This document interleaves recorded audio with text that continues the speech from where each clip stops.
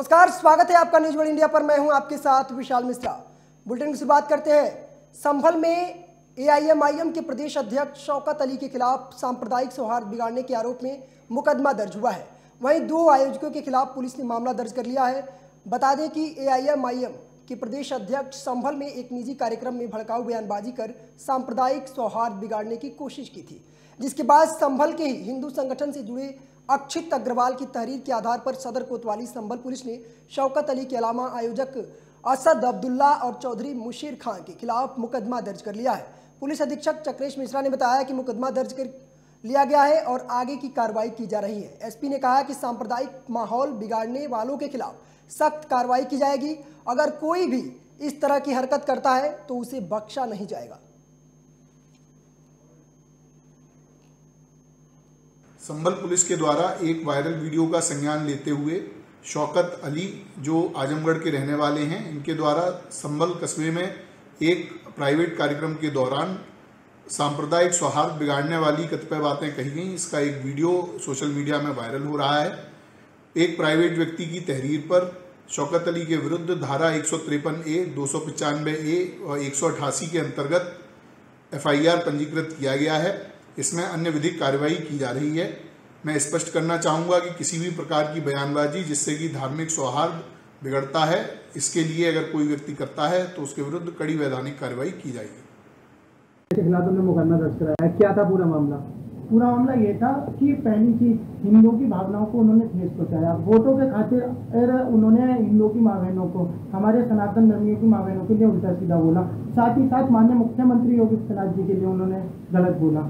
उसी के साथ साथ किसी भी धर्म या किसी भी ग्रंथ में नहीं लिखा, चाहे वो इस्लाम हो, चाहे कोई सा भी ग्रंथ हो, उसमें नहीं लिखा किसी वोटरों की खातिर, किसी की माँ बहनों को, या किसी के धर्म के लिए उल्टा सीधा बोला जाए। या कि सबसे बड़ी बात माने मुख्यमंत्री जी के लिए उल्टा सीधा बोला साथ ही साथ हमारी माँ बहनों के लिए उल्टा सीधा बोला। आप जिस तरह से उन्हें देख सकते हैं, उन्होंने बहुत पुरानी बातें को भी लेके वो इस बात को खींचातानी करी। क्या वो देश का माहौल बिगाड़ना चाहते हैं, क्या प्रदेश का माहौल बिगाड़ना चाहते हैं, क्या वो संबंध में माहौल बिगाड़ने आए थे, या माहौल बिगाड़ चुके हैं, कि इस चीज़ से हम लोग पूछना चाहते हैं उनसे, और साथ ही साथ उनके ऊपर मैं सख्त से सख्त कार्रवाई चाहता हूँ। इसी खबर पर ज़्यादा जानकारी के साथ हमारे संवाददाता प्रदीप मिश्रा जुड़ गए हैं। प्रदीप, क्या कुछ जानकारी मिल के आ पा रही है?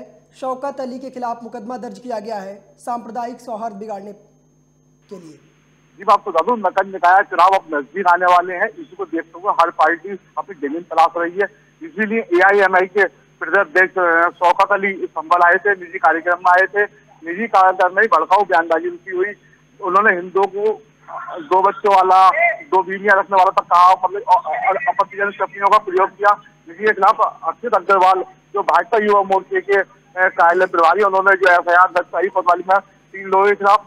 इनके खिलाफ जो है धारा एक सौ तिरपन, ए एक सौ दो सौ पचानवे ए तथा एक सौ अठासी के तहत मुकदमा दर्ज किया गया। तीन लोगों के खिलाफ और इन्हें कोतवाली में जो है एफआईआर आई आर दर्ज कर ली गई है।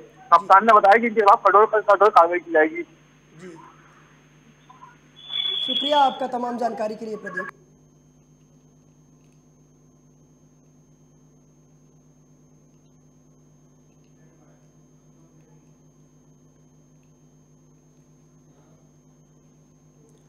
यूपी परिवहन विभाग का अहम फैसला। नया वाहन खरीदते समय नॉमिनी का भी देना होगा नाम। वाहन मालिक की मृत्यु के बाद होती थी परेशानी। वाहनों के स्वामित्व हस्तांतरण को लेकर के होती थी परेशानी। इसी के चलते परिवहन विभाग ने ये बड़ा कदम उठाया है।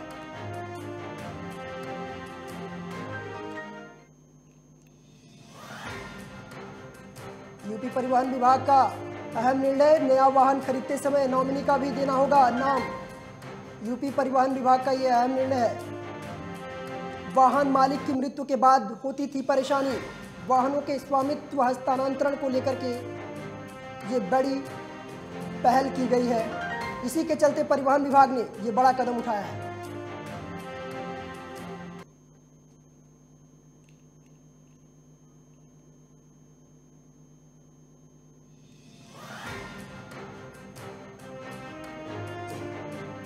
यूपी परिवहन विभाग का अहम निर्णय, नया वाहन खरीदते समय नॉमिनी का भी देना होगा नाम। वाहन मालिक की मृत्यु के बाद होती थी परेशानी। वाहनों के स्वामित्व हस्तांतरण को लेकर के परेशानी होती थी। इसी के चलते परिवहन विभाग ने ये बड़ा कदम उठाया है।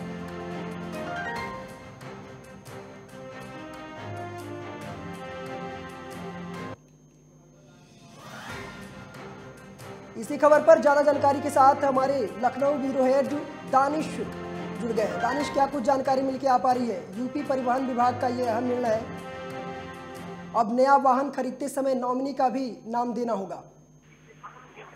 हाँ देखिए बिल्कुल उत्तर प्रदेश में भी यूपी परिवहन विभाग का अहम निर्णय लिया गया है। और वाहन खरीदते समय नॉमिनी का भी नाम देना होगा। और वाहन मालिक की मृत्यु के बाद जो परेशानी होती थी उसको देखते हुए उत्तर प्रदेश के परिवहन विभाग ने स्वामित्व हस्तांतरण को लेकर एक योजना बनाई है। इसके चलते परिवहन विभाग ने ये फैसला उठाया है। हालाँकि इस फैसले पे मंथन जो है मुख्यमंत्री का पहले से चल रहा था जिसको लेकर के मीटिंग हो रही थी लेकिन आज जो आदेश कर दिया गया है कि अब जो परिवहन विभाग का रजिस्ट्रेशन होगा वो चाहे टू व्हीलर का हो चाहे फोर व्हीलर का हो चाहे वो थ्री व्हीलर का हो जितने भी रजिस्ट्रेशन होंगे वो सब पे नॉमिनी होगा। यानी कि जो मृत्यु के बाद जो परेशानी होती थी कि वाहन स्वामी कौन है कहाँ पर क्लेम किसका मिलेगा तो अब उस नॉमिनी को उसका क्लेम मिल जाएगा और उसका वाहन स्वामी भी उसका नॉमिनी ही माना जाएगा जिसको लेकर के उत्तर प्रदेश में सबसे बड़ी खबर है। परिवहन विभाग की और इसमें स्टेट में जितने भी ट्रैवल्स हैं या जितने भी इसमें जो ट्रांसपोर्ट हैं या जितने भी इसमें परिवहन के जितने भी जो भी रजिस्ट्रेशन में आएँगे वो सब अब नॉमिनी के तहत आएँगे। ये उत्तर प्रदेश सरकार का एक बहुत बड़ा पहल है। जी। जी। जी शुक्रिया आपका दानिश ज़्यादा जानकारी के लिए।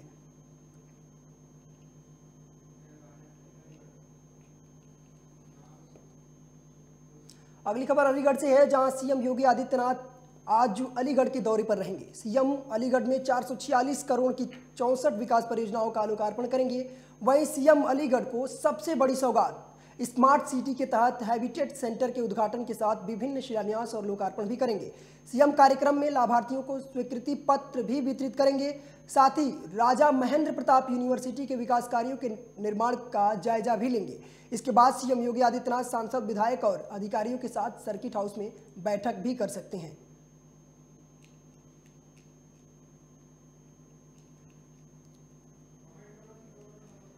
सीएम योगी आदित्यनाथ का आज अलीगढ़ दौरा, जहाँ वो कई विकास परियोजनाओं का लोकार्पण और शिलान्यास करेंगे।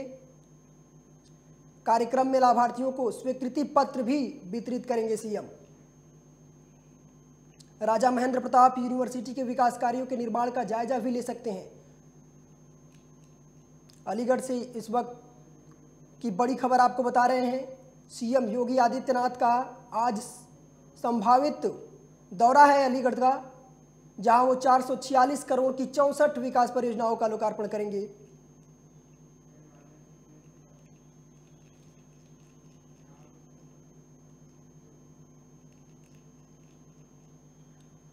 खबर सीतापुर से है, जहाँ प्राथमिक विद्यालय के मिड डे मील में दूध के अंदर छिपकली के अवशेष मिलने के मामले में बड़ी कार्रवाई हुई है।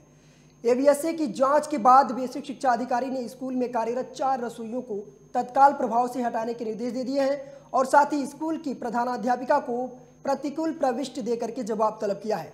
इस घटना में दूध पीकर स्कूल के तकरीबन 40 बच्चों की हालत बिगड़ गई थी। वहीं बच्चों की हालत बिगड़ने पर डॉक्टरों की टीम ने पहुंचकर सभी को प्राथमिक उपचार दिया, जिससे सभी बच्चे सुरक्षित बच गए हैं। वहीं डीएम ने मामले में जाँच के आदेश दे दिए थे।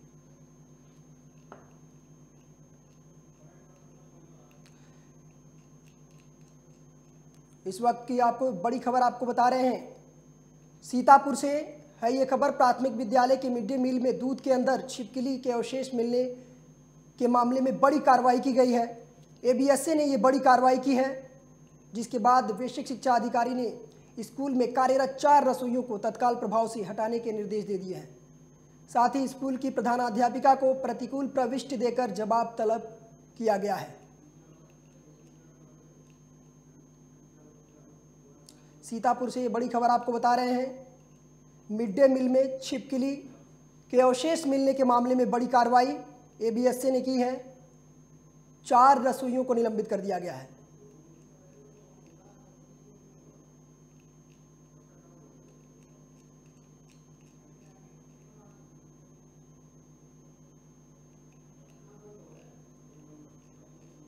सीतापुर से इस वक्त की बड़ी खबर आपको बता रहे हैं। प्राथमिक विद्यालय के मिड डे मील में दूध के अंदर छिपकली के अवशेष मिलने के मामले में बड़ी कार्रवाई।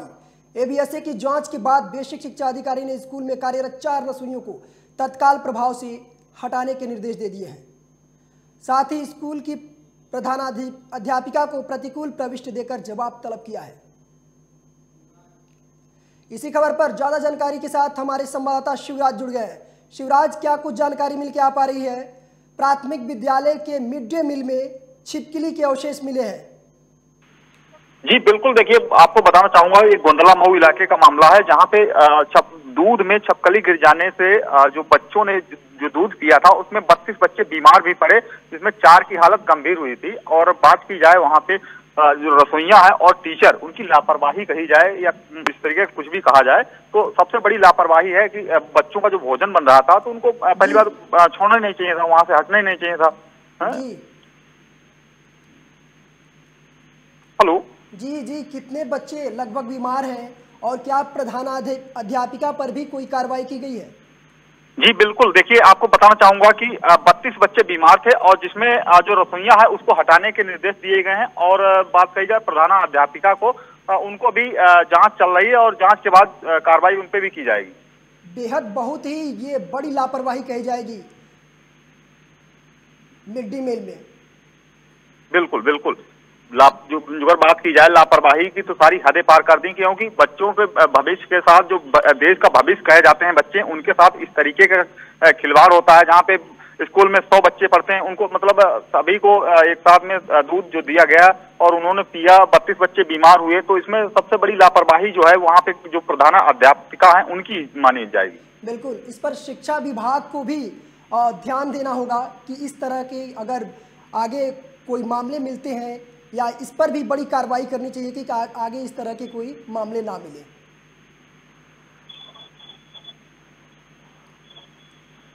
शुक्रिया आपका शिवराज ज़्यादा जानकारी के लिए।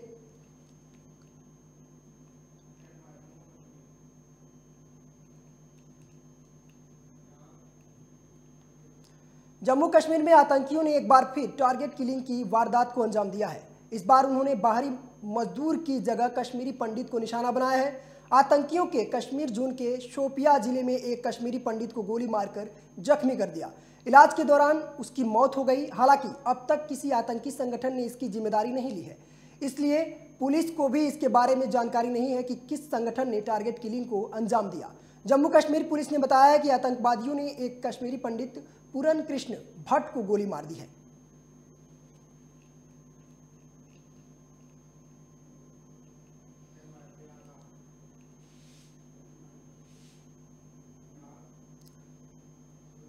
अगली खबर, प्रयागराज से है जहाँ माफिया अतीक अहमद के बेटे अली समेत दो के खिलाफ पाँच करोड़ की रंगदारी मांगने के मामले में चार्जशीट लगा दी गई है।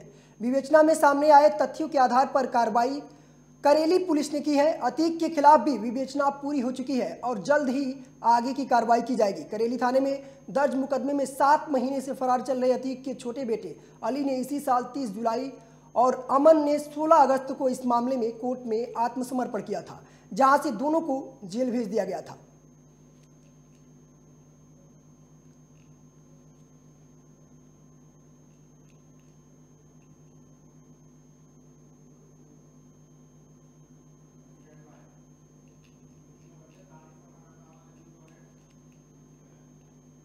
इसी खबर पर हमारे साथ ब्यूरो हेड दानिश जुड़ गए हैं। दानिश क्या कुछ जानकारी मिल के आ पा रही है? मा, माफिया अतीक अहमद के बेटे अली समेत दो के खिलाफ पाँच करोड़ की रंगदारी मांगने के मामले में चार्जशीट लगा दी गई है। बड़ी कार्रवाई की गई है अतीक अहमद के बेटों के खिलाफ।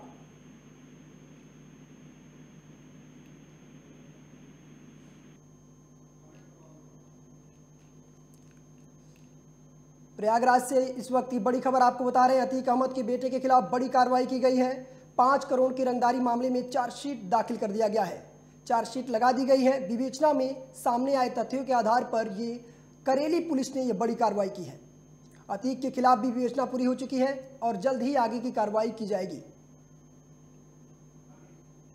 इसी खबर पर ज़्यादा जानकारी के साथ हमारे लखनऊ ब्यूरो हेड दानिश जुड़े हैं। दानिश, क्या कुछ जानकारी मिलकर आप आ रही है? प्रयागराज में इस वक्त बड़ी कार्रवाई की गई है। अतीक अहमद के बेटे के खिलाफ रंगदारी मामले में चार्जशीट लगा दी गई है। देखिए मैं बताना चाहता हूँ कि ये जो अतीक अहमद है ये मतलब सरकार टू पॉइंट ज़ीरो में योगी आदित्यनाथ ने पहले ही कहा था कि जितने बाहुबली माफिया हैं उनकी संपत्ति कुल की जाएगी और उत्तर प्रदेश में माफिया राज को खत्म कर दिया जाएगा जिसके तहत चलते अतीक जो अहमद है उनके बेटे हैं वो यूपी की जेल में भी बंद हैं। फ़िलहाल उनकी अतीक अहमद की संपत्ति जो है वो कुर्की की कार्रवाई शुरू की गई थी आज लखनऊ में। तो चौंतीस करोड़ की अवैध संपत्ति कुर्क की गई है और गोमती नगर विस्तार में अड़तीस करोड़ की संपत्ति कुर्क की गई है। गैंगस्टर के मामले में कुर्की की कार्रवाई की गई है। अतीक और उनके बेटे अभी फ़िलहाल गुजरात और उनके दोनों बेटे यूपी की जेल में बंद है। यानी कि अतीक गुजरात और उनके बेटे यूपी की जेल में बंद है। जिस तरीके से ये कार्रवाई चल रही है, मुझे लगता है अभी और कार्रवाई चलेगी। जैसा कि मैंने पहले भी बताया था कि उत्तर प्रदेश सरकार के टू में आदित्यनाथ का जो सबसे पहला जो एम है, वो उत्तर प्रदेश में जंगल राज को खत्म करना है। चाहे वो मुख्तार अंसारी हो, चाहे वो अतीक अंसारी हो, चाहे वो हफ़्ता अंसारी हो, चाहे वो विजय मिश्रा हो, चाहे वो कोई भी विधायक हो कोई बाहुबली हो कितना भी बड़ा कितना भी दबंग हो उसमें यहाँ पे उत्तर प्रदेश सरकार ने सबसे पहला तारीख उसका यह है कि गुंडा राज को खत्म करके जो संपत्तियाँ कब्जी करी करी गई हैं अवैध संपत्तियों को पूर्ण करके गवर्नमेंट अपने हाथ में टेक ओवर करेगी। जिसके तहत लखनऊ में कार्रवाई की गई। जी बिल्कुल। यूपी सरकार लगातार माफियाओं और दंगाइयों के खिलाफ कार्रवाई कर रही है। उसी में आज ये बड़ी कार्रवाई की गई है। शुक्रिया आपका दानिश ज़्यादा जानकारी के लिए।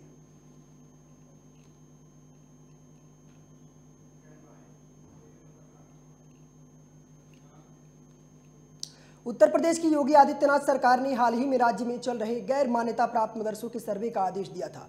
आदेश के बाद उत्तर प्रदेश में गैर मान्यता प्राप्त मदरसों के सर्वे का काम चल रहा है। बता दें कि अभी तक 80 प्रतिशत सर्वे का काम पूरा हो गया है। मिली जानकारी के अनुसार पैंसठ में से बावन गैर मान्यता प्राप्त मदरसों के सर्वे का काम पूरा कर लिया गया है। सर्वे के दौरान प्रदेश के कई जिलों में बड़े स्तर पर गैर मान्यता प्राप्त मदरसा पाए गए हैं। बता दें कि ये मुरादाबाद में गैर मान्यता प्राप्त मदरसों का सबसे बड़ा जाल सामने आया है, जिसमें अभी तक मुरादाबाद में सबसे ज़्यादा गैर मान्यता प्राप्त मदरसे मिले हैं।